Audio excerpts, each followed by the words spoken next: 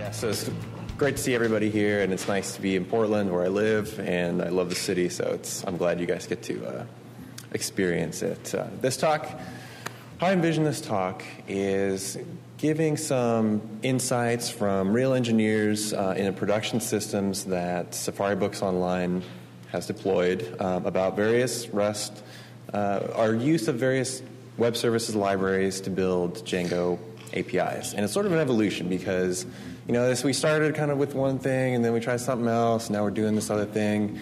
And it's changed over time, and we have a variety of libraries uh, in production right now. So we'll kind of talk through, uh, you know, three, or, three or four of these things, and what I'm, what I'm going to do is give you some real words from, from different engineers, um, not just me and not, not necessarily like Safari's position, but um, what we've experienced, like the good things and, and some of the bad. But at first, I had a question: uh, Are any of you creators or authors of the Django Web Services library? Okay, good, good. So, so tone down the, the, the, stress a little bit. But uh, so we will be talking about some cons, and it's not a not a judgment necessarily. All right. So quick introductions uh, before I get into it.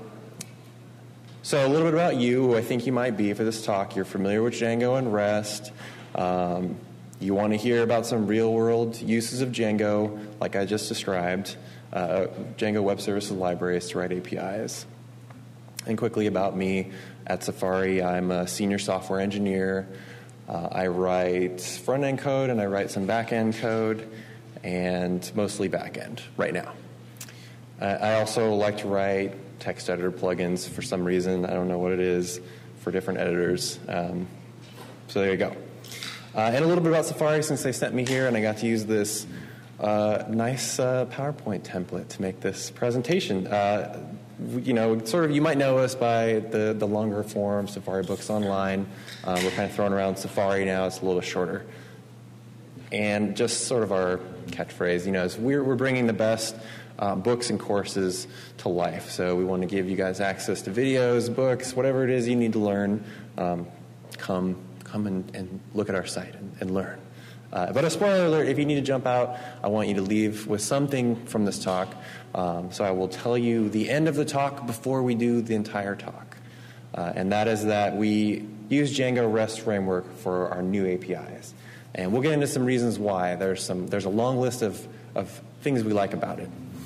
Uh, but if you need to leave with something, and I'm sure you've already heard this many times, this probably isn't new, but Django REST framework is, is good. Uh, so let's start at the beginning, right? And this is in some ways like the beginning, maybe it's the beginning of your prototype. We can also look at it as before we did, before we used a library for doing our web services, we used some plain views, and I've also used some prototypes as well, as I mentioned. So let's look at some pros of using just vanilla Django views for your API.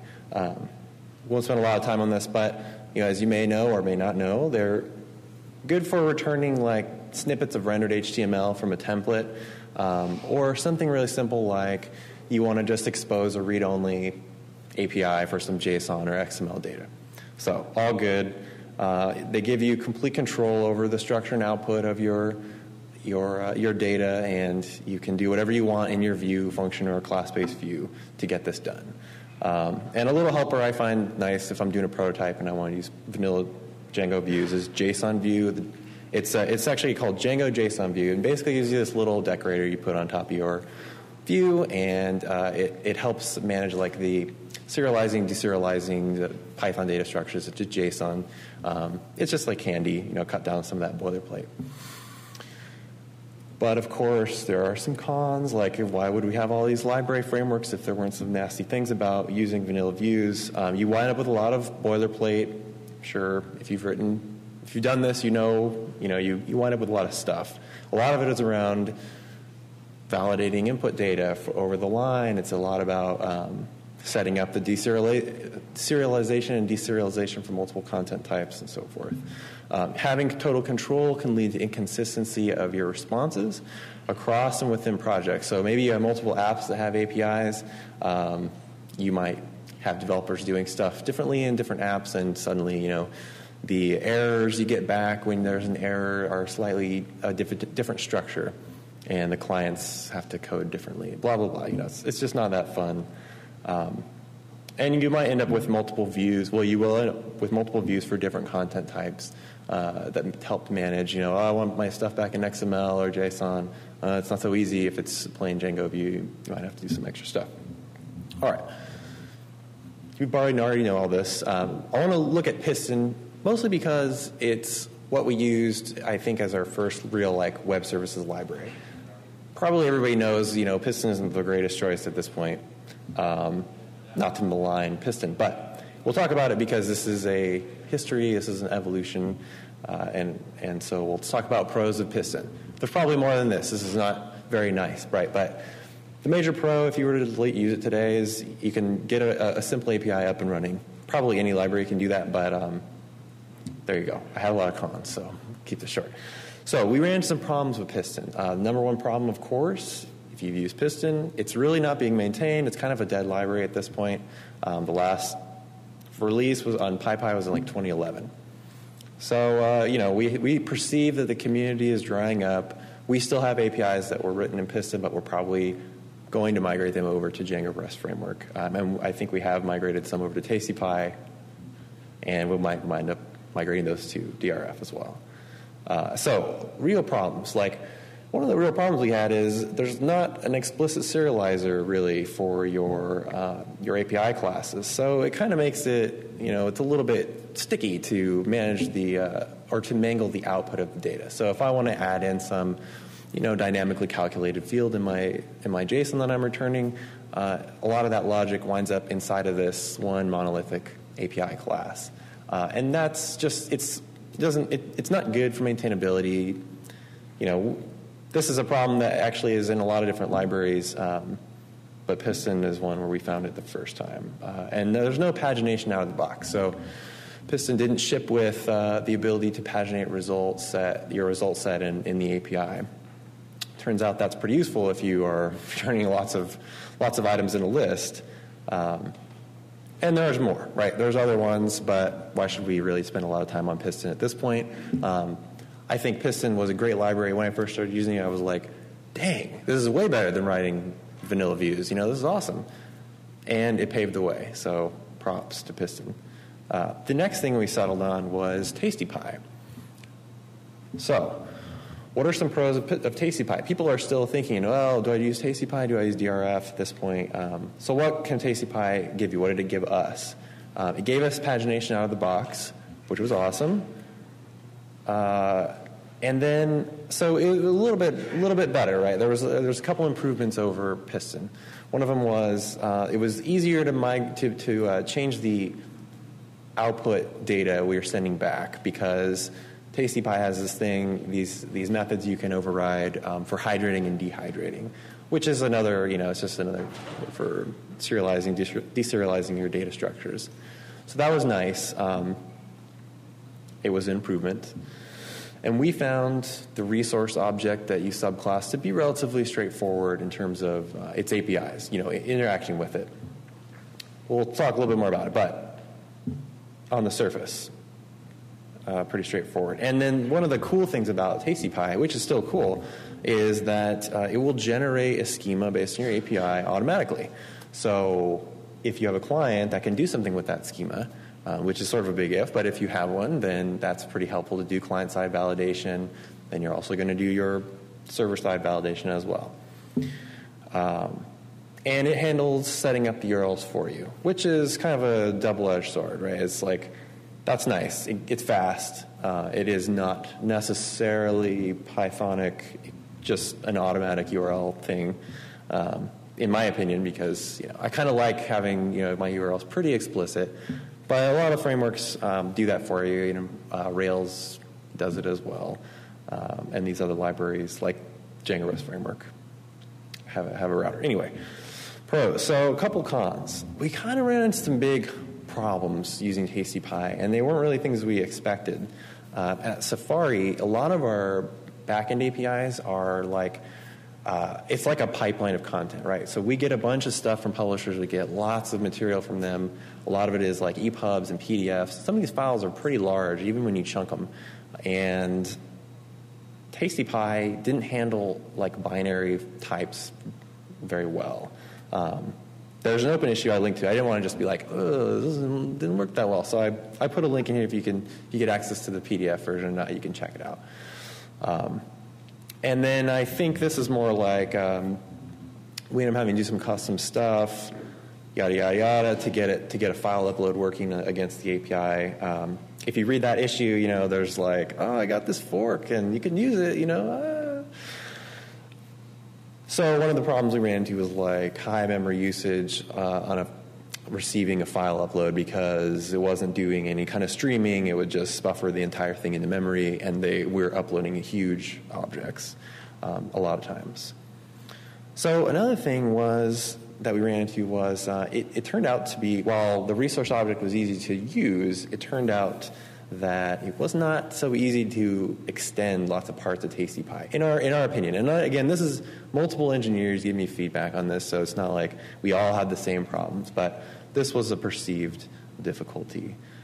Um, and the same with Piston is, and this I've seen this is, you generally end up with a single API class that's kind of responsible for doing everything. Like it does the, it handles all the custom serialization, deserialization logic, and a bunch of other you know fields that control like authentication and stuff.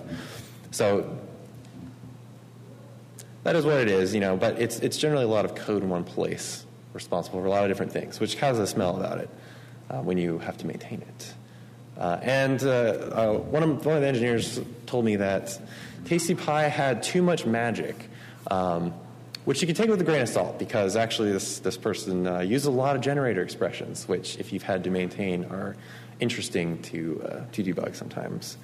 Um, so, another one. This is kind of an interesting point, right? So, a big thing about uh, web services libraries is you know, you have all this validation that you need to do. Like you need to give, like want to give the client a schema, so the schema, so the client can do some validation before it uses any requests to send any data over at all. Um, but you also need to do all that same validation, you know, on the server side when you receive data.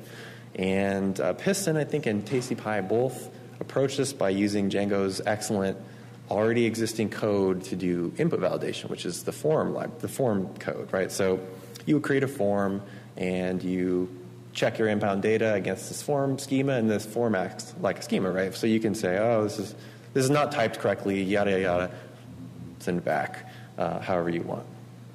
But that's kind of weird um, it, for us. Like, we don't really like using forms to validate like JSON data coming in from an API. It's not specialized to that purpose. It's they're kind of specialized to the purpose of handling like form inputs, right? So one of the things, like say you want to output the error messages that the form generated from validation because of the validation problems, right? You have to do some funky stuff like get in there and kind of get the uh, get the. There's not a clean API to get like simple text out of the form error sometimes, or maybe there is now, but there wasn't. I think there is actually in 1.7, but a little bit odd.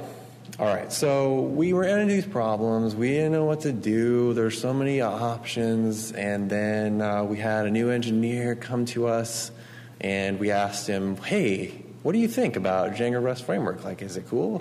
And uh, to my knowledge, he told us that he thought it was cool.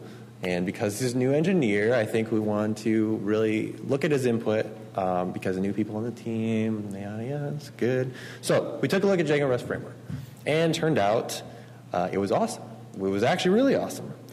So I actually had to break up list of good things about Django REST Framework into two parts because there were so many things we liked about it, and I didn't really want to leave any of these out. I actually to leave a bunch of stuff out. Um, and I put this one at the top. So the ordering these is based on me. It's sort of arbitrary, right? But uh, the number one thing about Django REST Framework that I really love, that we have found, is how well documented it is. Like you can go to the site today. You don't need to attend a talk about Django. I mean, you should if you're interested, but you don't need to read anything but the docs to really get up and running, and also beyond that to really go deep into understanding how part of, parts of it work. So it's very well done, and the creator uh, is very attentive on Stack Overflow and forums, asking questions. It feels good.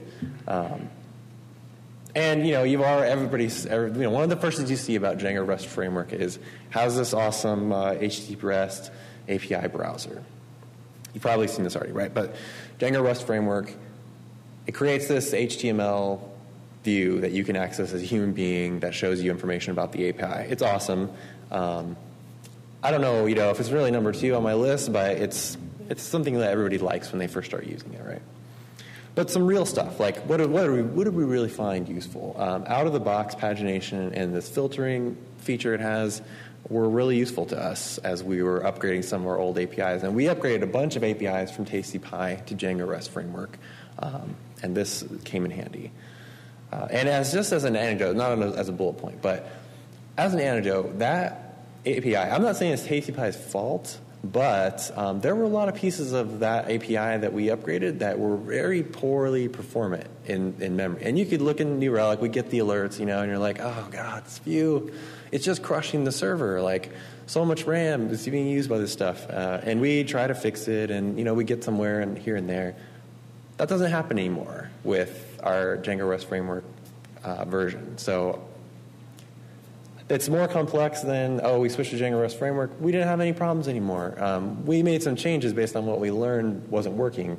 Uh, but also, I, it's my perception that performance is a little bit better in Django REST framework.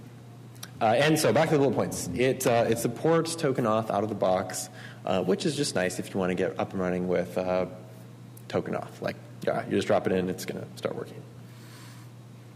But there's more. Uh, there's more. So uh, it is very easy to customize output from your APIs, including resource relationships. So in REST, right, we have the we have this thing called a resource, and they relate to each other. Uh, and it's easy to set that all up and get it the way you want it with URLs or IDs or whatever with these explicit serializer classes.